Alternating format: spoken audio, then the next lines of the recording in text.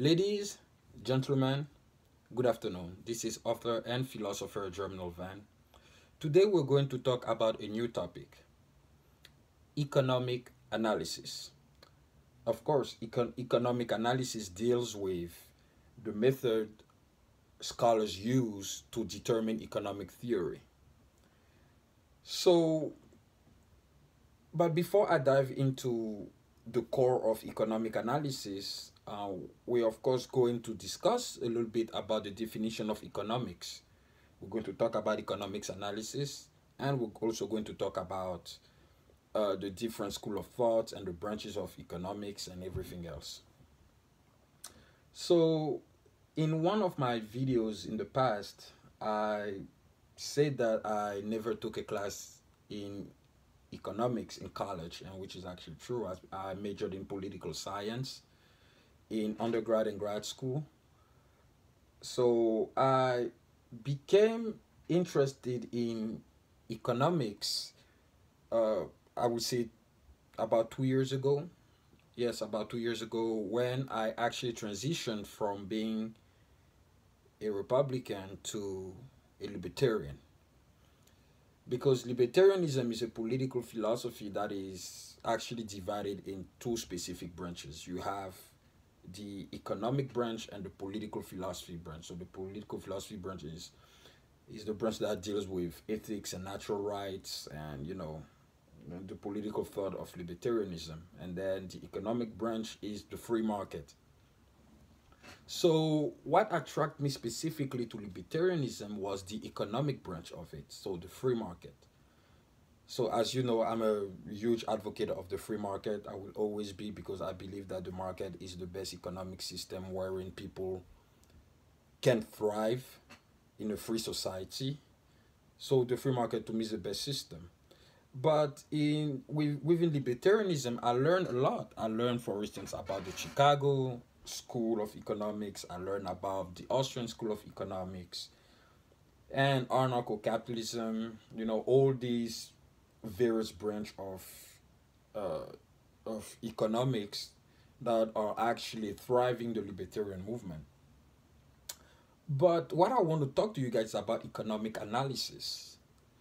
But before we started, we're going to now talk about economics. What is economics? So there are three definitions.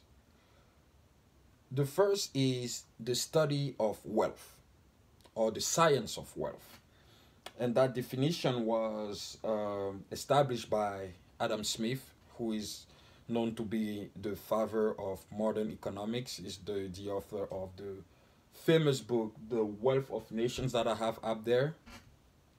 And you also have Jean-Baptiste who say that supply creates its own demand. Uh, he is also uh, one of the pioneers that uh, established that economics is the science or the study of wealth. So basically, when we say that economics is the study or the science of wealth, it means it deals principally with distribution, with um, uh, product, with distribution, production, and to an extent consumption too.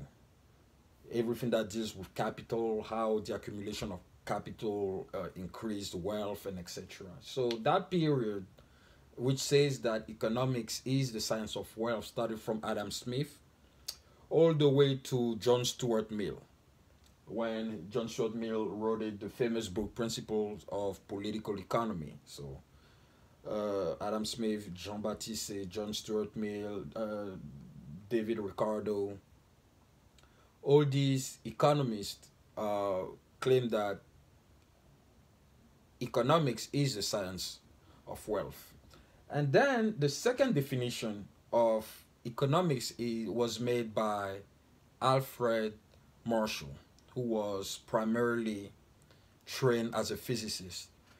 He says that economics is basically the study of the business of life or the of the ordinary business of life of people. So basically Alfred Marshall says that economics basically is the study of the welfare of the people. So it's interesting to understand because Alfred Marshall is, I could say, one of the initiator of micro economics because he deals with people. He doesn't necessarily deal with the aggregate, you know, from a macro level. He deals with people. How is it because, for instance, so the philosophy of um, Alfred Marshall is the following. Is it because, for instance, in a household, we say that, let's say a household has, makes um, $85,000 a year, and that household has four people. But among these four people, there's only, I would say, one person who makes that amount. The three others don't work. So with Alfred Marshall, does it mean that because a household makes 85,000 a year, therefore everybody is is doing well in that same household? Of course not. So he's saying that economics deals with how every single individual is doing individually. And then we have the third uh, definition of economics, which is um, the study of the science, the study or the science, my bad, of uh, the allocation of scarce resources. And that definition was made by Lionel Robbins in the 1930s. He says that human beings have unlimited wants, but it's not enough to satisfy everybody. So it's how, so basically, since there is not enough to satisfy everybody, how are we allocating resources so that the most important wants are satisfied? So let's say food, water, water of course is normally an unlimited good but when you're in the desert it becomes a scarce resources. What would you do for a pint of water if you were in the desert so that's what lionel robbins says he says that economics is the science of the allocation of scarce resources and today economics is defined as the science of the allocation of scarce resources. So this is the definition that anyone who studies economics or who is interested in studying economics will find in the textbooks. Personally, I believe that economics is the science of wealth because economics is the science that enables you to understand how to create wealth. Of course, human beings are the one that create wealth. Alfred Marshall, to an extent, his definition is valid because if people are not doing well, there's no wealth to be created. Of course, so you need human capital. But where I kind of disagree with Alfred Marshall, though, is that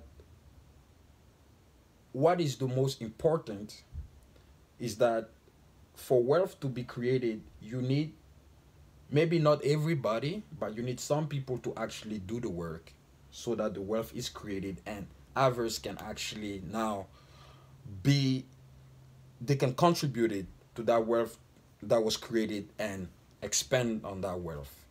So basically, to me, I agree more with Adam Smith, uh, John Stuart Mill, David Ricardo on their approach to economics. But it does not mean that Alfred Marshall or Lionel Robbins are wrong at all. In fact, all three definitions go along.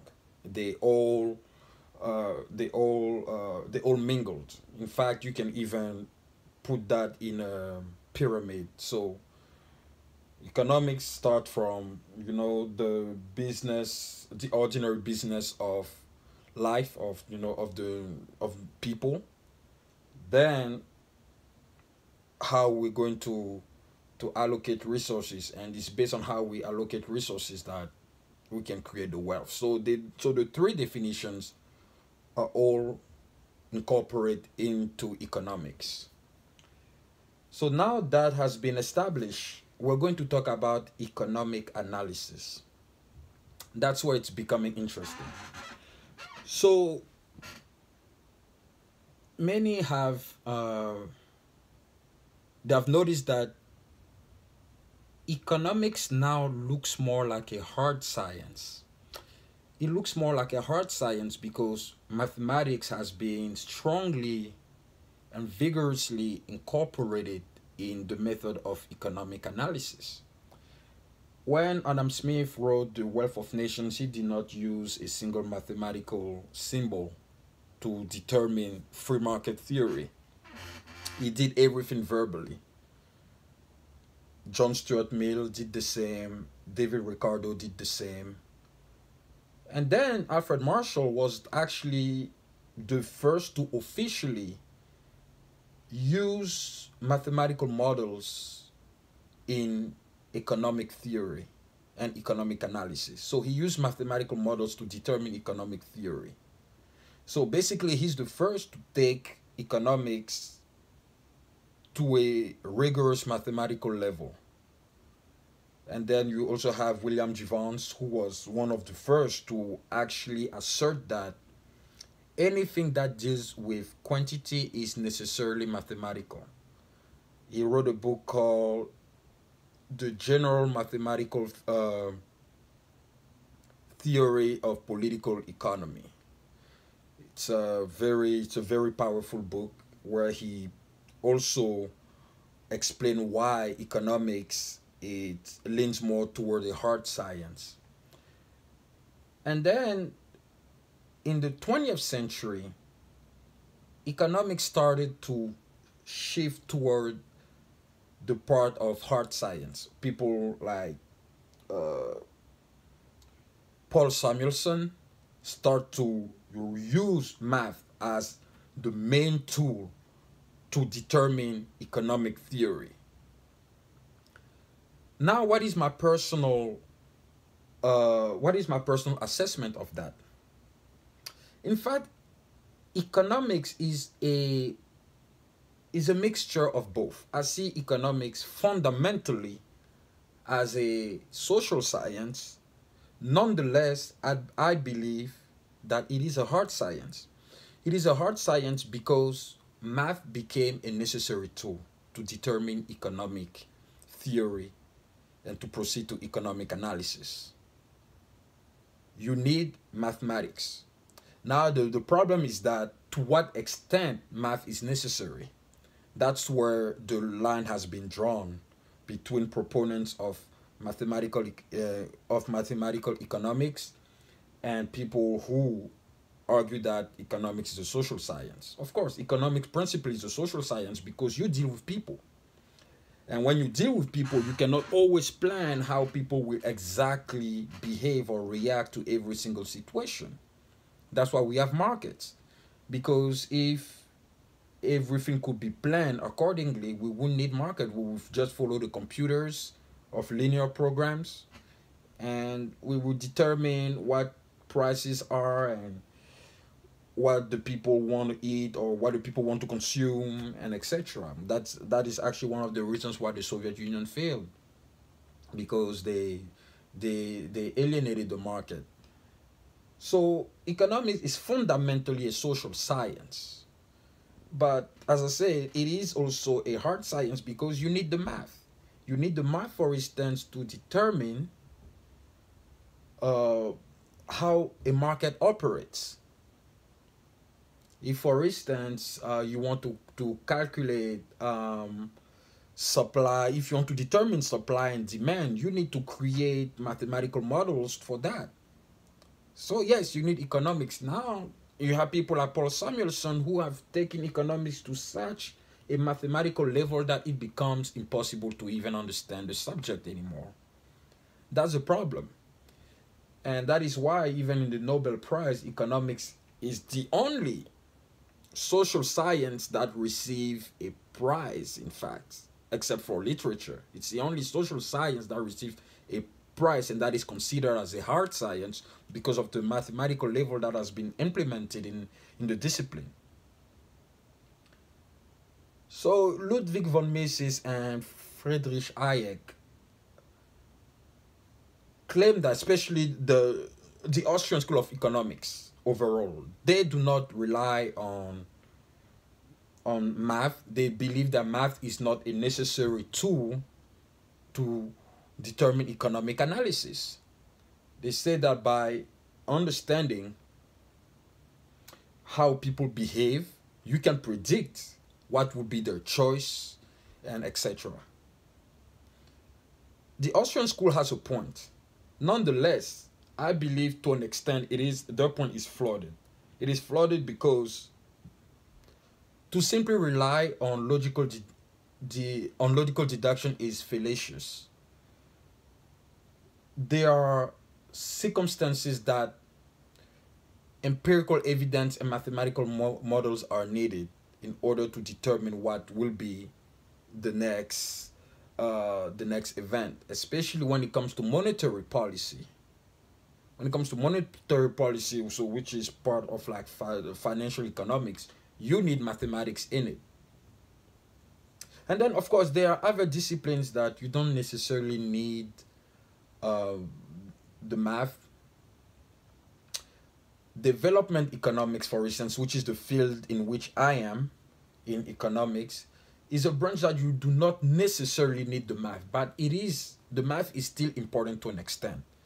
So the way I work in economics is that I write my entire explanation in plain English.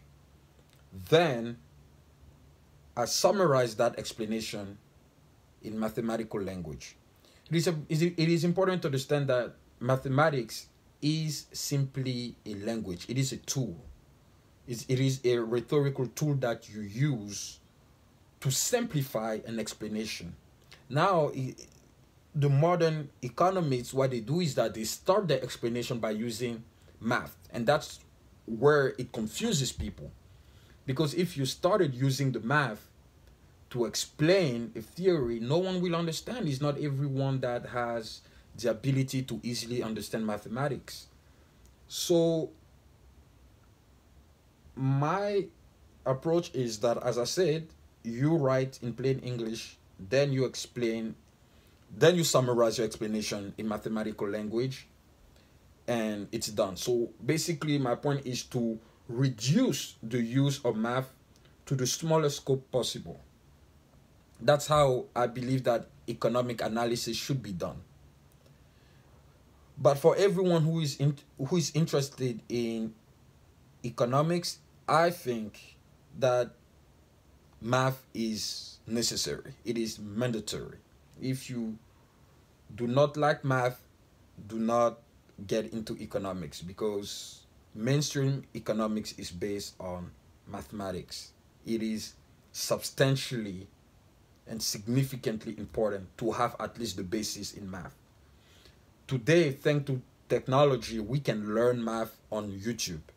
We can learn math online. All you need is to take calculus and you start getting the the skills back again. I major I major in in high school I majored in math, physics and um, biology because in the French system in high school we have majors back in the days, I used to hate math. I used to strongly hate math because I didn't understand and it, it, it really irritated me. And then I started talking with one of my friends who are more on the Austrian side, but who do not dismiss the use of mathematics in economic analysis. And that's when my taste for math came back. And then I started to uh, to get back on math and start started you know, studying calculus again by myself. Thank God to technology, I can track back on it, but it's it's really useful. The the forthcoming books that I will be publishing on economics, you guys will now see more math included in my analysis. It is necessary. Before my books were more like political philosophy and yes, there was some economic theory, but it was all verbal. From now on, most of my books will will be shifting toward a more mathematical approach, but I will still uh, make sure that the mathematical analysis is reduced instead of expanded. And when it comes now to my economic school of thought, of course, I support the free market. But I personally closer or I lean closer to the neoclassical uh, school of thought in in economics rather than the pure classical approach. And I also lean to the public choice theory. So for those who don't know public choice theory, so public choice is uh, is basically the use of economic tools in the study of political science.